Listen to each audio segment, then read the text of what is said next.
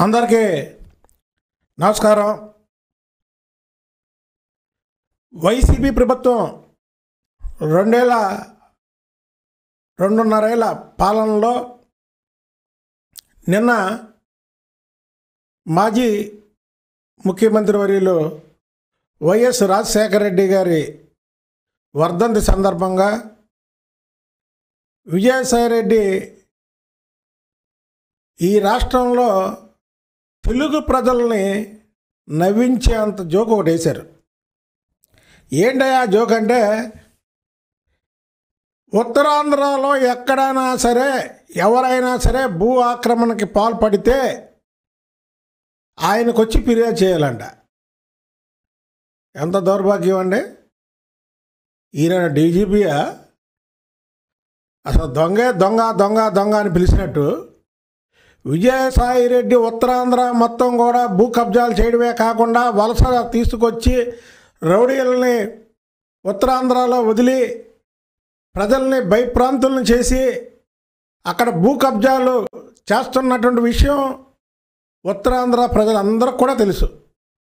మళ్ళీ ఈయనే నిన్న వర్ధంత సభలో ఎవరైనా ఎక్కడైనా జరిగితే ఈయనకి వచ్చి ఫిర్యాదు చేయాలి. మళ్ళీ చూడండి పోలీసు వారికి కాదు ఈయనకి వచ్చి ఫిర్యాదు చేయాలి. అంటే ఈ రాష్ట్రంలో పోలీసు వ్యవస్థ లేదు. అంతా మేమే. మేమే రాజులు మేమే మంత్రులు అని చెప్పే విధంగా విజయసాయిరెడ్డి మాటలు ఉన్నాయి. ప్రజల భూములు కబ్జాలకు గురైతే ఫిర్యాదు చేయడం అనేది విజయసాయిరెడ్డికి ఫిర్యాదు చేయడం అనేది వంద ఏనుగులు తిన్న రాబందు తీర్థయాత్రలకు వెళ్ళిందంట. అలా ఉంది. విజయసాయిరెడ్డి గారి మాట. ఆయనే భూగర్జాలకు పాల్పడి ఆయనే అక్కడ ఒక వంద మందిని బయట నుంచి తీసుకొచ్చి వాళ్ళందరినీ చేసి ఎవరన్నా పాల్పడితే ఆయనకు వచ్చి ఫిర్యాదు చేయమండం అంటే ఆయనకు వచ్చి చేస్తే ఏముంటుంది? ఆ జగన్మోహన్ రెడ్డి గారి దృష్టికి వెళ్ళకుండా ఆ కాగితాన్ని మడిసి జేబులో పెట్టుకుంటాడు. అది. అందుకనే ఆయనకే చేయమన్నాడు.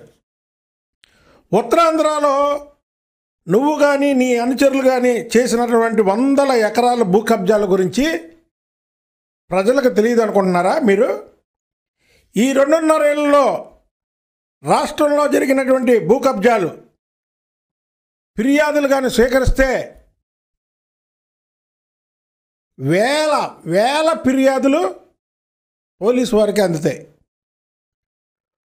ఉత్తరాంధ్ర వలస వచ్చిన బందిపోటు ఎవరయ్యా అంటే ఉత్తరాంధ్రలో రెండవ తరగతి చదువుతున్న పిల్లవాడు కూడా చెప్తాడు. ఏమని?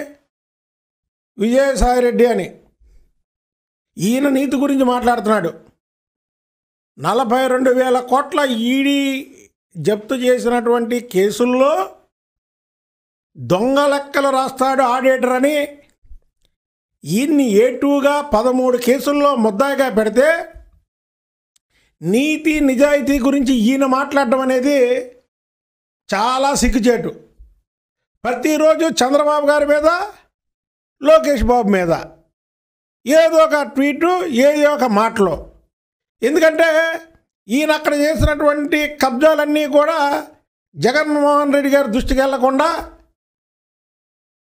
ఆయన దగ్గర మార్కులు కొట్టేయడానికి ప్రతిరోజు వీళ్ళని విమర్శించడం. ఎవరికి తెలియదయా నీ భాగవతం? చెప్పండి. నువ్వు చేసిన అవినీతి నువ్వు చేసినటువంటి డబ్బులు వసూళ్ళు నువ్వు చేసినటువంటి భూ ఆక్రమణలు ఉత్తరాంధ్రలో వైజాగ్లో ఉన్నటువంటి జగదాంబ సెంటర్ అంటే తెలియని వ్యక్తే ఉండరు అలాంటి జగదాంబ సెంటర్లో చర్చకు సిద్ధమా?